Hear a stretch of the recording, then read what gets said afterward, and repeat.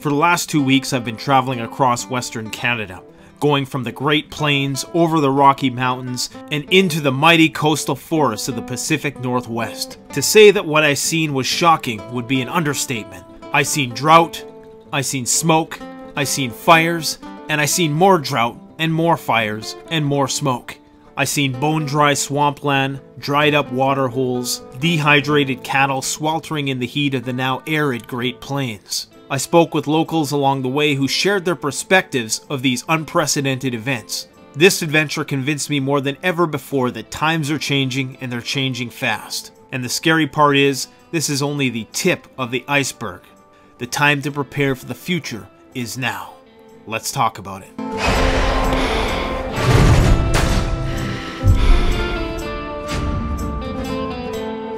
So I had to come out to southern BC to see for myself what was going on here. And I was astonished at what I found. As you can see behind me, that's not uh, fog, that is smoke from forest fires. Most people aren't spending a lot of time outdoors. I wanted to show you guys this firsthand. I came from a place called Saskatoon, Saskatchewan, and which is about 1500 kilometers away. And I can tell you that from North Ontario to the West Coast, it's been nothing but smoke, fire, droughts, uh, cows huddled around, dwindling water holes, the whole way here.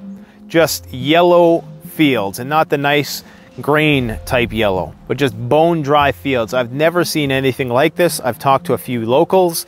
Many of them have never seen anything like this. They've seen forest fire smoke because BC is notorious for fires, but nothing this persistent. Never have they seen these types of record temperatures. Never have they seen the level of drought.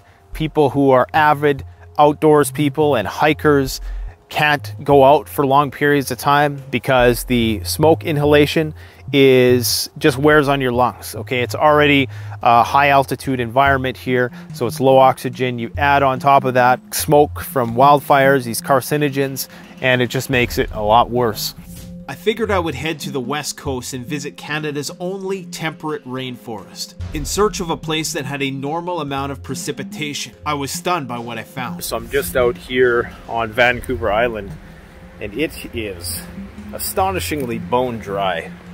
You can see the, the ground, everything is just dead. And including some of the trees, because there's a lot of beetle kill in these parts. The beetle kill is part of the reason why we're seeing these abnormally large amounts of wildfires and why it's going to continue to get a lot worse. Uh, this is the driest that a lot of people have ever seen it on the island and I've talked to a lot of uh, older folks and they can attest to that, that it is unseasonably and abnormally and exceptionally dry. There's an extreme risk of fire right now. It's just astonishing that this temperate rainforest is as dry as it is. It's very strange. Most places are on an extreme fire warning, fire ban. And as you can see here, the grass is all yellow. Not much is growing. There hasn't been really a whole lot of rain at all out here as far as I'm told. And it's really depressing seeing all of these cows along the way here huddled along these empty water holes what is typically uh, a swampland with a high water table, you know, from where I live to like the Alberta border, from Saskatoon to Alberta, usually there's a lot of water, but it's just bone dry. All you see is white residue where ponds and creeks used to be. It's something I've never seen before. It's, it's pretty scary to be honest. And then driving out to BC to see the thickness of the smoke and just how persistent it was. Like it didn't matter where you went I mean, maybe up north you might find a little bit of relief, which is odd because there usually is a lot of forest fires up that way too. Down here, it's just been so persistent. I was talking to locals in Kamloops who said it was like this for the past three weeks to four weeks, and that this is the worst that they've seen it so far. So it's pretty serious, pretty serious what's going on right now. And then the other problem is, is wa watching farmers trying to irrigate these crops when there's no sun coming in okay? But it's still really, really hot, which is weird. So it's almost like the heat uh, the, the smoke is kind of trapping in the heat, but it's also reflecting some of the sun's light off. So it's probably the smoke is actually having an effect of uh, cooling things down. Unfortunately, the plants aren't getting enough uh, sunlight to photosynthesize. So you just can't win. You're, you're going to have uh, really crops this year, all the way in Western Canada, I think. And that is going to increase food prices a lot, I do believe. So hopefully, three months ago, when I initially put out that video warning people about drought, that people took that seriously and went and filled up your pantry. That's why I've been so adamant on food preps lately because I do believe that we could see a significant spike in food price, which is not going to be temporary. It's not going to be transitional. It is going to be permanent. I'll also say that this is one of the first seasons that I haven't really had to use much bug spray out in the backcountry. And more often than not, you're using a lot of bug spray out here, but because it's been so dry, there hasn't been enough bugs to justify it. You know, you see the odd horsefly here and there, maybe the odd mosquito at a tourist area where, you know, mos mosquitoes tend to congregate, but nothing major. And you can see all this grass around me here. I'll show you an image of it. It's, it's bone dry and it's, it's very freaky. It's very freaky to see this right now. Lots of these forests, they got a lot of standing dead timber because of the pine beetle kill. And if not that, they're just dry. There is a lot of old dead growth and the, they're just waiting to go up. One of the scariest things about these kind of fires, and I didn't realize this until I got out here, is that if new fires are starting, you can't really see it because visibility is so impaired whether from the sky or on the road. You know, you could have a fire starting just 100 meters into the bush and you wouldn't really be able to tell because you can't see the smoke rising. Okay, you have to be really close to see the smoke. That's why these fires are so hard to fight, especially if you get a little fog on top of the smoke. It becomes very hard to pinpoint where the actual fires are. So uh, just keep that in mind when you see these fires on TV and people trying to fight these fires. It is very difficult to really identify the source of the fire without some sort of thermal imaging technology. A lot of this reminds me of the book called The Road. They made a movie about it also. The movie starts out, they don't tell you what disaster uh, precipitated the post-apocalyptic event that the characters suddenly find themselves in. They don't tell you what happened. Is it a volcano? Is it a meteor? Is it nuclear winter? Is it climate change? They don't really tell you, okay? The only hints they provide are basically at the beginning where the guy opens up his back window and he sees that you know the forest behind him is ablaze it's on fire and it makes me wonder that if this is going to continue year after year and if there's a component of it that is not cyclical. And if there's part of this which is going to continue to intensify, like a positive feedback loop where it's going to get drier and drier, thus you're going to get more forest fires because it's going to be more dry.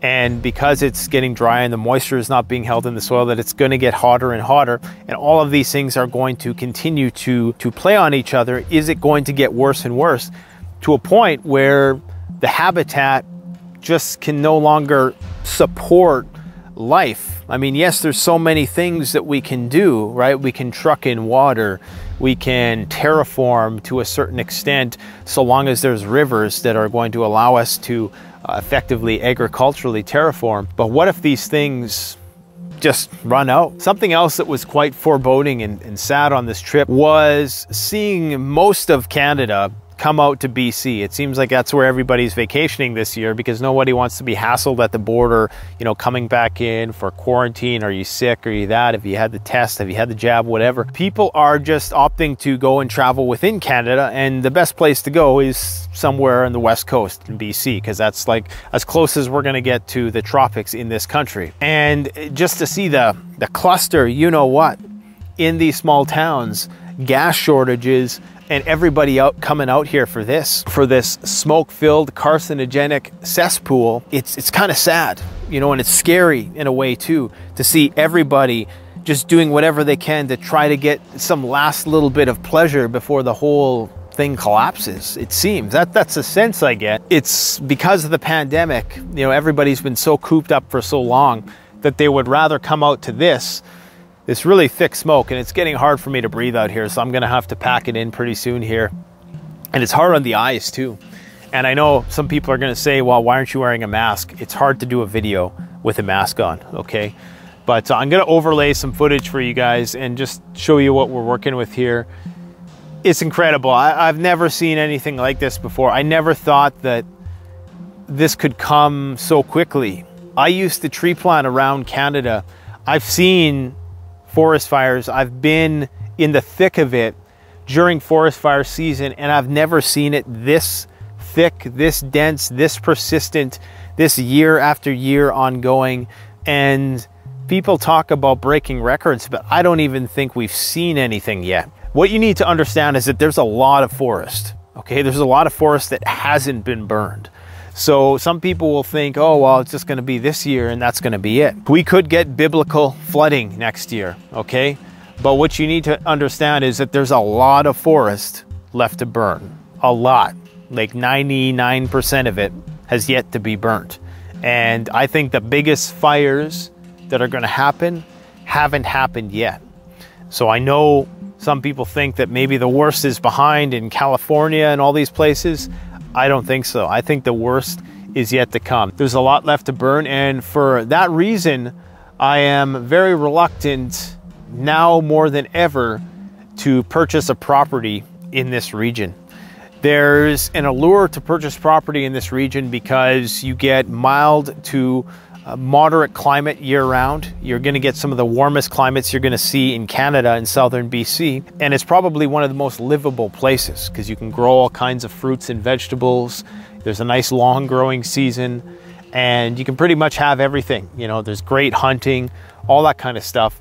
But the problem is you're always going to be in a forest fire prone region. I mean, Kamloops, big city with over 100,000 people, was almost evacuated, okay, because a fire almost uh, jumped the river. You need to really be mindful of where you're setting up shop. This idea of running off into the backwoods and you're going to be safe and there's not going to be any hazards. A forest fire is going to be an increasing problem which I think is just going to be factoring into everybody's prepping plans, no matter where you live, if it's in Appalachia or the Rocky Mountains or anywhere in the boreal forest it's going to be a problem. So I'm just saying, if you do have a property, you obviously know that property better than me. You know what the risks are. But if I was going to make a property in a region like this, I would absolutely make sure that I wasn't exposed to a lot of uh, wooded area and that I had a healthy buffer zone of grassland, which was managed and curated so that it itself could not become inflamed. Because all this grassland that you're seeing right now is a tinderbox in itself. This is crazy. This is absolutely crazy. I've never witnessed anything like this in my life. To see it on the news is, is one thing, but to see it firsthand just confirms all of the videos that I've been making so far this year. There never in the history of prepping has been a time like there is right now to prepare. It doesn't matter what side of the political spectrum you are on. It doesn't even matter what you think is causing all of this, to be brutally honest.